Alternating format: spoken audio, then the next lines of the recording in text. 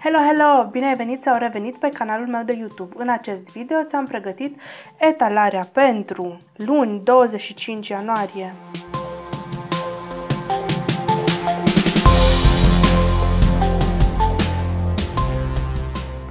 Hai să vedem ce energie o seasă pentru această zi pe partea de dragoste, sănătate, bani, carieră, situație financiară. Bun. Bun, hai să o luăm pe rând. Pe partea de dragoste avem aici pajul de săbii, cartea de vigilență. Trebuie să fiți foarte atenți astăzi în relațiile de dragoste, atât cei singuri cât și cei care sunteți în relații stabile. Aici apare riscul de greșeli în comunicare, să spuneți ceva și să fie înțeles altfel, să credeți că ați trimis un mesaj cuiva și de fapt ați trimis la alt număr, tot felul de probleme din astea de, de comunicare poate să apară astăzi, dar de asemenea există un foarte mare risc ca cineva, o a treia persoană, să bage zâzanie între voi, fie între voi și partenerul, partenera voastră sau între voi și o persoană de care sunteți interesat, interesată.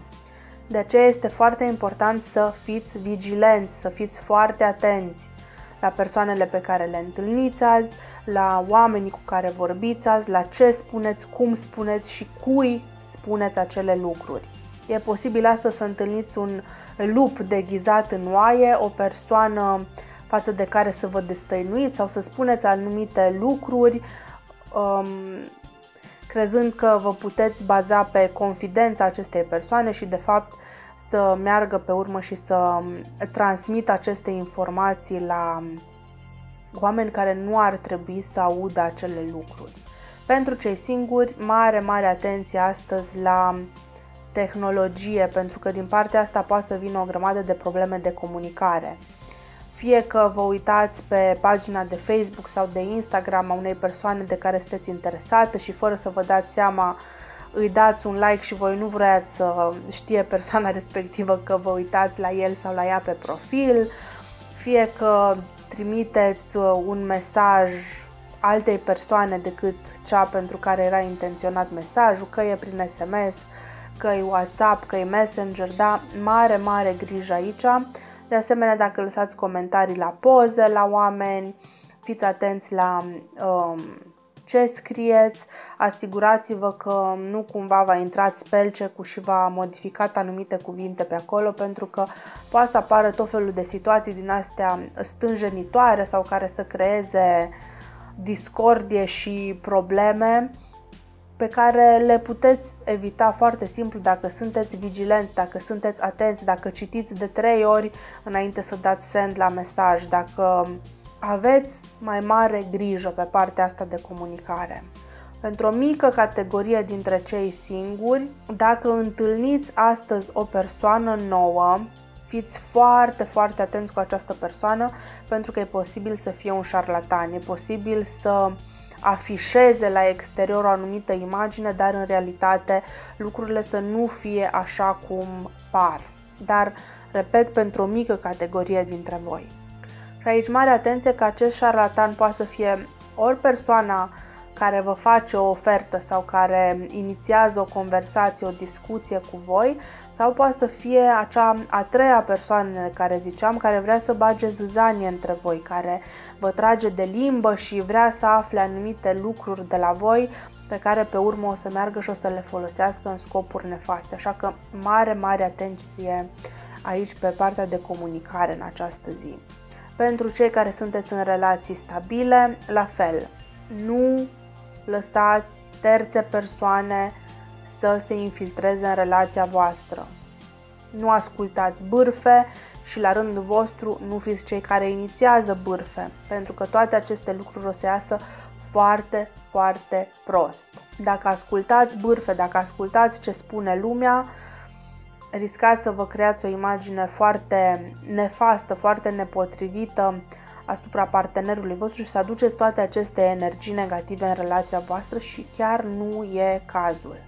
Dacă voi sunteți cei care inițiază bârfe, o să vă creați o imagine foarte negativă în cercul vostru de prieteni și chiar nu e cazul. Feriți-vă de toate discuțiile astea care sunt mai dubioase astăzi și de toți oamenii dubioși, da? Fiți vigilenți, aveți grijă. Pe partea de sănătate avem aici zecele de cupe, o carte foarte, foarte frumoasă, de bucurie, de fericire, de împlinire. Aici s-ar putea să aveți motiv de sărbătoare. Fie voi sau un membru apropiat din familia voastră are ceva de sărbătorit pe partea asta de sănătate, o vindecare, o recuperare, obținerea unei stări de sănătate mai bună. Aceasta este o carte de confort, de stabilitate, de împlinire și armonie în sânul familiei. Lucrurile se termină cu bine, vedem aici un final foarte fericit pentru o problemă de sănătate, iar pentru cei care nu aveți această situație în viața voastră, este o zi foarte bună să discutați cu părinții, cu bunicii, să aflați care este istoricul bolilor cronice din familia voastră, astfel încât să puteți să vă faceți un plan de prevenție, un plan pe termen lung, astfel încât să vă asigurați că și voi când o să ajungeți la vârsta părinților și bunicilor voștri să nu suferiți de aceste boli cronice, aceste boli care e posibil să se transmită genetic în familia voastră. Da, e o zi bună ca să vă faceți acest istoric medical și pe urmă împreună cu un medic homeopat să faceți un tratament preventiv, da, o schemă de prevenție, uh, posibil cu anumite tratamente naturiste, da, cu ceaiuri, cu suplimente naturale, lucruri care să uh, vă echilibreze carențele din organismul vostru și să vă ajute să preveniți apariția unor boli cronice pe parcursul vieții voastre. O energie foarte frumoasă pe partea de sănătate, bucurați-vă de această zi. În bani, carieră, situație financiară avem nouăle de monede. O carte de prosperitate, de generozitate, dar și de mulțumire, de împlinire materială financiară. Aceasta este o carte care reprezintă luxul, confortul material și ne arată că ați ajuns la un moment în care vă puteți bucura de toate lucrurile materiale pe care le-ați acumulat, de stabilitatea financiară, de stabilitatea economică pe care o aveți. Puteți să vă relaxați, să vă bucurați de rodul muncii voastre și să vă permiteți anumite răsfățuri, anumite luxuri, anumite lucruri care vă fac plăcere. Pentru cei tineri poate să reprezinte momentul în care într-un final obțineți independență financiară, pentru cei maturi poate să reprezinte finalizarea renovării unei locuințe, a decorării unei locuințe, obținerea unei stabilități financiare sau faptul că aveți un portofoliu de investiții foarte stabil pe care vă puteți baza.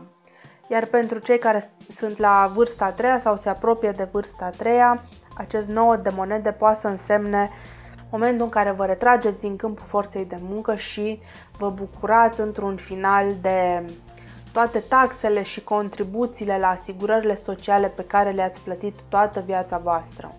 Mare atenție cu acest nou de monede să nu cheltuiți mai mult decât vă permiteți. Da, este o perioadă bună, este o perioadă în care vă puteți răsfăța cu anumite lucruri pe care în mod normal poate nu vi le-ați cumpăra, dar nu exagerați totuși, da? Asigurați-vă că aceste mici răsfățuri sunt totuși în limita bugetului vostru. Pe parte financiară, acest noul de monede este cartea care reprezintă și-au trăit fericiți până la adânci bătrâneți, da? Acest happy end, acest final fericit în afaceri, în chestiuni financiare. Energie foarte frumoasă pentru această zi. Sunt niște cărți foarte frumoase pentru prima zi din săptămână. Sper să o ținem la fel toată săptămâna. Bun, și înainte să finalizăm etalarea, vreau să vă scot și un card de înțelepciune. Până când amestec eu cărțile, nu uitați să-mi lăsați în comentarii cum se aplică pentru voi această interpretare și dacă v-a plăcut mesajul meu, bineînțeles, nu uitați să dați un like la video.